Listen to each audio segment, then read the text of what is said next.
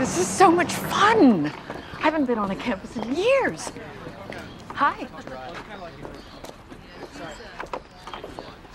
Oh, let's wrap him up and take him home. Now what? You're being wildly inappropriate, as usual. And as usual, I am feeling irritated and resentful. Well, that's your shit.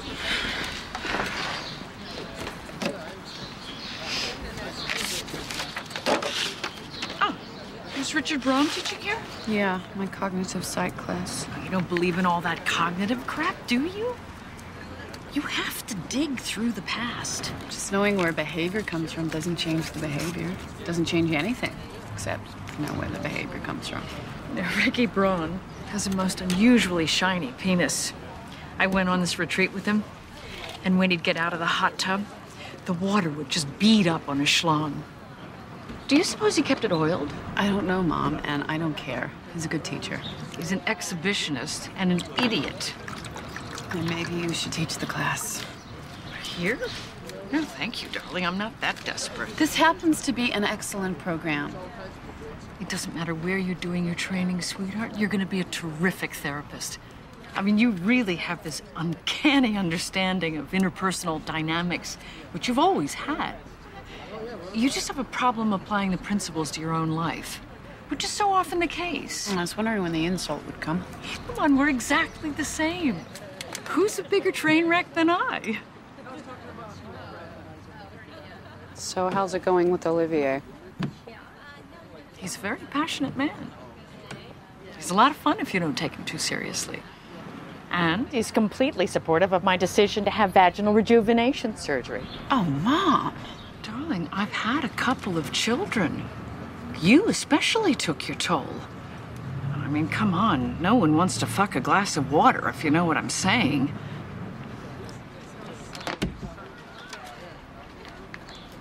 Speaking of children, are you still interested in having one? I think so.